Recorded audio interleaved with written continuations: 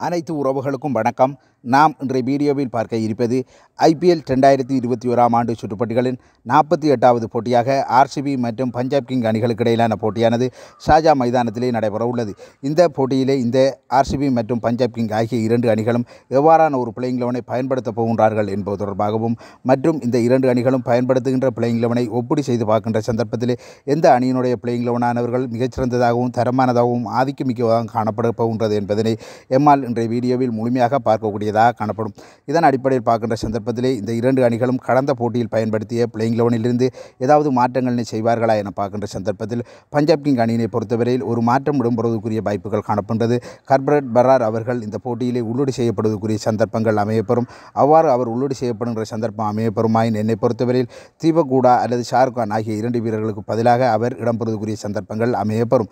அதனை போன்று இந்த அரசு அணியிலே ஏதாவது மாற்றங்கள் இடம்பெறுமா என பார்க்கின்ற சந்தர்ப்பத்தில் இரண்டு மாற்றங்கள் இடம்பெறுவதற்குரிய சந்தர்ப்பங்கள் அமைய பெற்றிருக்கிறது. ஜே டேனியல் கிறிஸ்டியன் மற்றும் ஜோர்ஜ் கார்ட்டூன் ஆகிய இரண்டு வீரர்களுக்கு பதிலாக ஒரு சில வேளை பைண்டு ஹசரங்க மற்றும் க துஷ்மந்த சமீர் அல்லது கைல் ஜெமிசன் ஆகிய இரண்டு வீரர்களிருந்து ஒரு வீரர் களமிறக்கப்படுவதற்குரிய சந்தர்ப்பங்கள் அமையப்பெறும். இதன் அடிப்படையில் இந்த இரண்டு அணிகளுடைய பிளேயிங் கிரவுண்டில் இடம்பெறுகின்ற வீரர்களை ஒப்பி செய்து பார்க்கக்கூடியதாக காணப்படும். இந்த ஆர்ஸ் மணியுடைய தொடக்க வீரராக தேவ்தர் படிக்கல் அவர்கள் களமிறக்கப்படுவதற்குரிய சந்தர்ப்பங்கள் நூறு வீதம் காணப்பட்டது.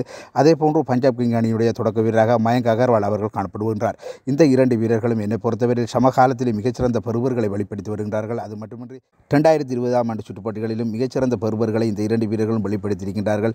இதன் அடிப்படையில் இந்த இடமானது என்னை பொறுத்தவரையில் ஒரு சமபலம் வாய்ந்த ஒரு இடமாகவே காணப்படுகிறது இதனை அடுத்து ஆர்சிபி அணியுடைய இரண்டாம் இலக்க வீரராக விராட் கோலி அவர்களும் அதே போன்று பஞ்சாப் கிங் அணியுடைய இரண்டாம் இலக்க வீரராக கே எல் ராகுல் அவர்கள் களமிறக்கப்படுவார்கள்.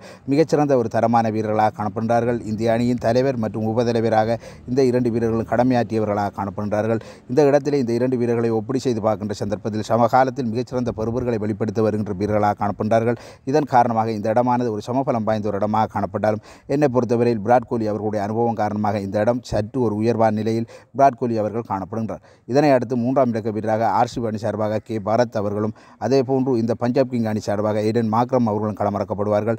இந்த இரண்டு வீரர்களும் இந்த ஐபிஎல் ரெண்டாயிரத்தி இருபத்தி ஆண்டு சுற்றுப்பட்டிகளிலே மிகச்சிறந்த முறையில் களம் கண்டு வருகின்றார்கள். இந்த இரண்டு வீரர்களுடைய துடுப்பாட்டமும் மிகச்சிறந்த முறையில் காணப்படும் காரணமாக இந்த இடமானது ஒரு சமபலம் பாய்ந்த ஒரு இடமாக காணப்படுகிறது இதனை அடுத்து நான்காம் இலக்க வீரராக ஆர்சிபி அணி சார்பாக கிளென் மெக்ஸ்வெல் அவர்களும் அதே போன்று பஞ்சாப் கிங் அணி சார்பாக நிக்கோலஸ் பூரன் அவர்களும் களமிறக்கப்படுவார்கள். இந்த இடத்திலே ஒப்படி செய்து பார்க்கின்ற சந்தர்ப்பத்தில் நிக்கோலஸ் பூரன் அவர்களுடைய பெறுவர்களானது மிகச்சிறந்த முறையில் இதுவரைக்கும் அமையவில்லை என்பதுதான் ஒரு யதார்த்தமான உண்மை.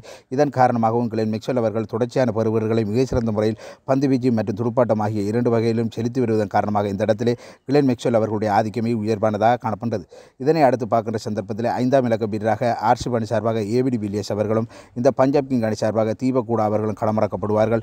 இந்த இடத்திலே ஒப்படி செய்து பார்க்கின்ற சந்தர்ப்பத்தில் ஏபிடி பில்லியஸ் அவர் என்கின்ற ஒரு மகத்தான மனிதன் மற்றும் அவருடைய கடந்த கால பொறுவர்கள் என்பவற்றின் அடிப்படையில் ஏபிடி பில்லியஸ் அவர்கள் இந்த இடத்திலே உயர்வான ஒரு வீரராக காணப்படுகின்றார். அடுத்து ஆறாம் இலக்க வீரராக சபாஷ் அகமட் ஆர்சிப் அணி சார்பாகவும் அதே போன்று இந்த பஞ்சாப் கிங் அணி சார்பாக ஷாருக் கான் அவர்களும் களமிறக்கப்படுவதற்குரிய சந்தர்ப்பங்கள் காணப்படுகிறது. இதிலே பார்க்கின்ற சந்தர்ப்பத்திலே இந்த இடத்திலே என்னை பொறுத்தவரையில் இது ஒரு சமபலம் வாய்ந்த ஒரு இடமாகவே காணப்படுகிறது. இதற்கு அடுத்தபடியாக ஏழாம் இலக்க வீரராக ஆர்சிப் அணி சார்பாக டேனியல் கிறிஸ்டின் அவர்கள் கடந்த கால போட்டிகளில் பயன்படுத்தப்பட்டிருந்தார். இந்த போட்டியில் ஒரு சிலபடி அவர் பயன்படுத்தப்பட்டாலும் சரிதான் பன்ரு ஹசரங் அவர்கள் பயன்படுத்தப்பட்டாலும் சரிதான். இவர்கள் மூலமாக இந்த ஆர்சிப் அணியினுடைய பெறுவர்கள் மிகச்சிறந்த முறையில் இதுவரை அமையப்பெறவில்லை என்கின்ற ஒரு குற்றச்சாட்டை நிலவிக் கொண்டே இருக்கின்றது.